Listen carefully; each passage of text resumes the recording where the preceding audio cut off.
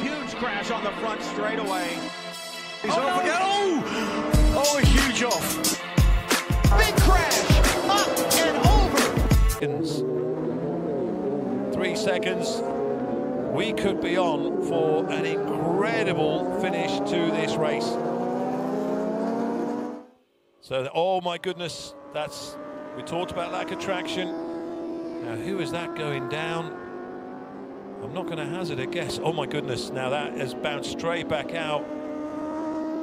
So not too sure who that was that uh, went down. It wasn't Letty Aranta, was it? I don't think so. I don't think it was. But uh, I think it was Koza did well to avoid it. So anyway, that gap now, 2.8 seconds. So Lahti's just taken another two tenths out of Pekkanen on that sector. So Lahti has got the taste.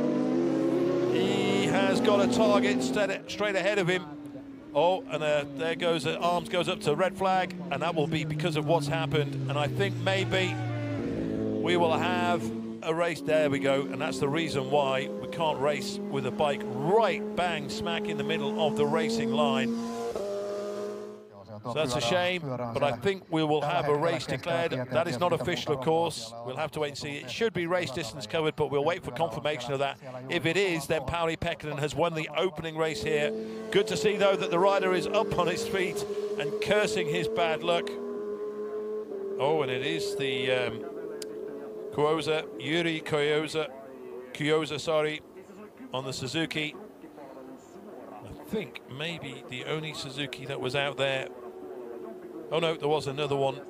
Koshki was also on the Suzuki, but uh, what a shame. Maybe just gripped that brake just a little bit too hard in the wet and it went from under him.